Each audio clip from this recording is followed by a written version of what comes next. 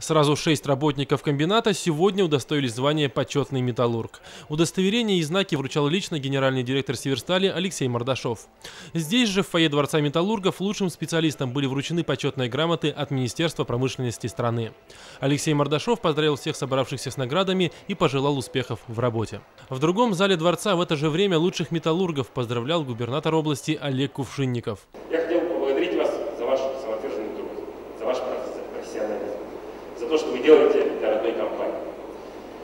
Хотел бы сказать большое спасибо вашим семьям за поддержку, за понимание, потому что работать на Северстале нелегко. Губернатор вручил государственные награды, медали ордена за заслуги перед Отечеством, орден дружбы.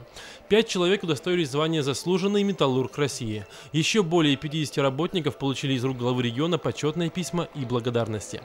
Подобными документами наградил передовиков металлургического гиганта и мэр города Юрий Кузин.